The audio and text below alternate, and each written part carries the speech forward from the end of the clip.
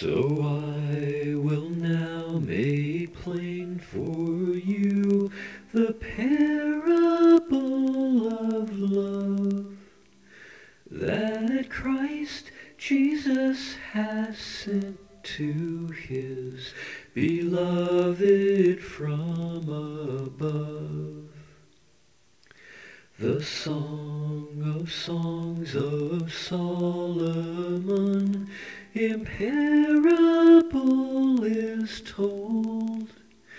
The story of Christ and his bride as from before of old. I have come down to the harvest of the grain and the fruit, of the barley and of the wheat, and the vine as my troop.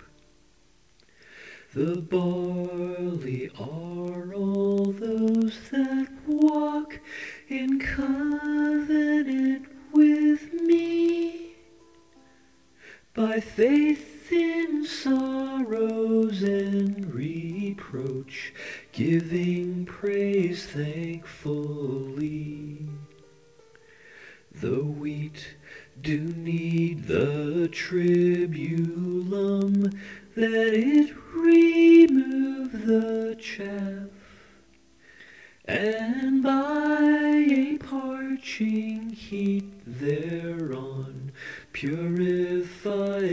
the remnant.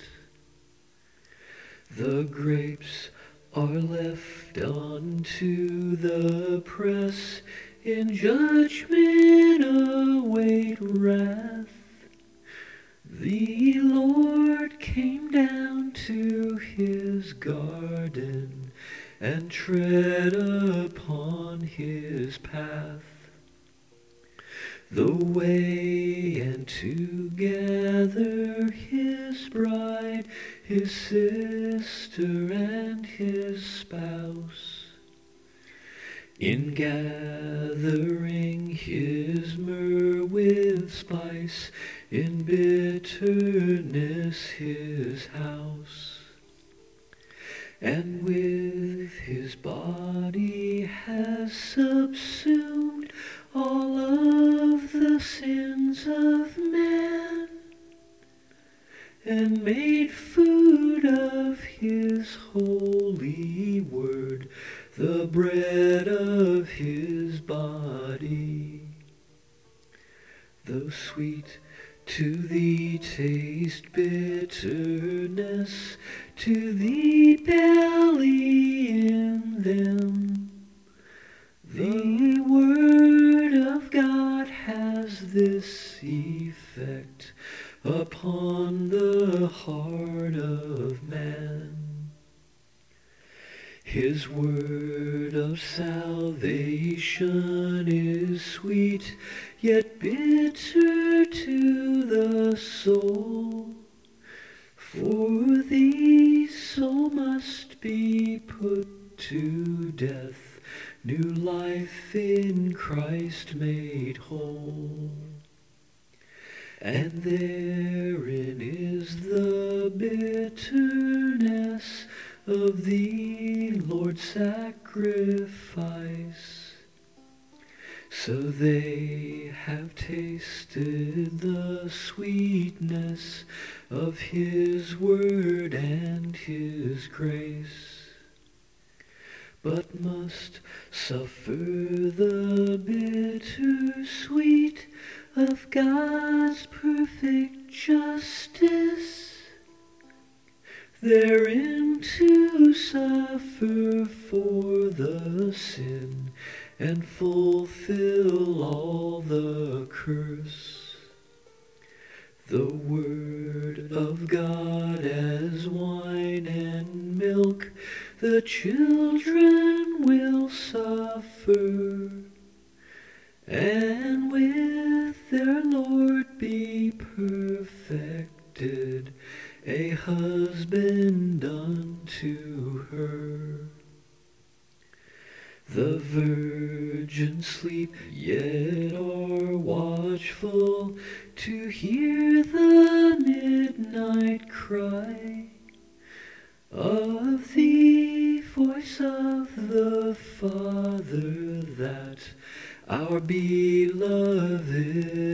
is nigh. It is the voice of the beloved, God's only begotten, is at the door and opening upon our hearts knocking. Says, open for me, my sister, my dove, my perfect one, perfected by your sufferings in covenant with the Son. My love, that we may fly away through the door to heaven. His head has a rounded brightness, the rainbow of the sun. His locks shorn in adversity are his testimony. I have removed my robe, so why should it return to me? I have removed my outer cloak that I may bear their sin. My God, my God, their sin to see, why have you forsaken? Can I take back my sacrifice and grace renew again? And I have washed my feet by the waters of all their sin. The washing by the waters of the Word of God in them. How could I defile my work of which I had done then? My beloved has placed his hand on the latch of the door. My heart has yearned greatly for him. I rose to open for my beloved that puts his hand on the latch to open unto the saints of the door he has opened in heaven. I rose to open for my love, my hands did drip with myrrh, my fingers with the bitterness, and covered as they were. I then rose up to let go free unto the one he sent. My hands covered with pain and grief pass through his covenant. At which point I did cross over to be taken beyond, and by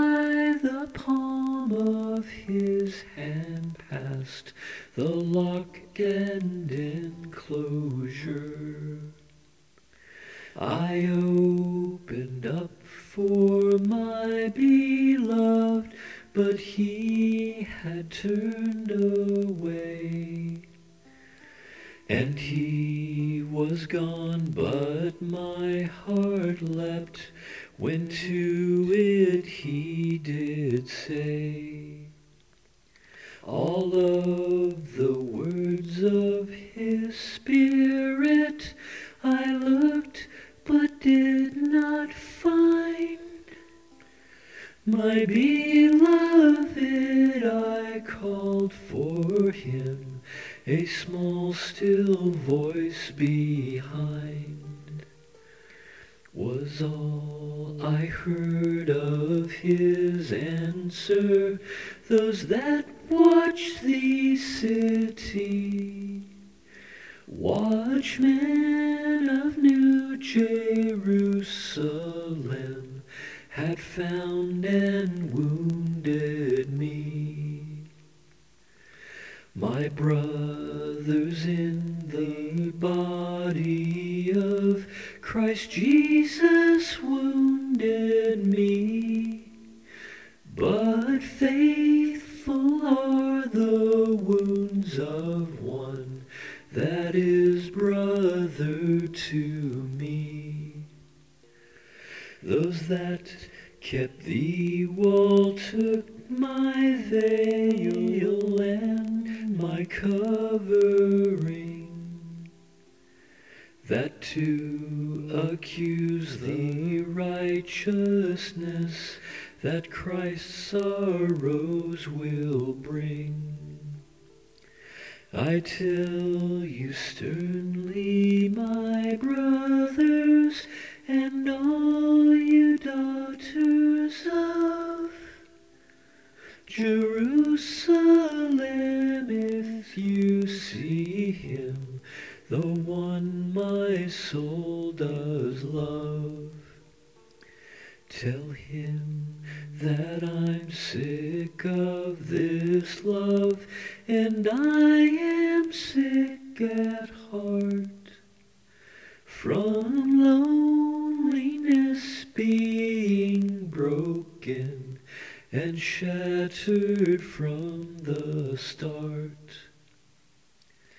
And they will ask why you believe that your love is better. What makes this beloved of yours than our beloved better? This Jesus Christ you claim to know, him through his covenant.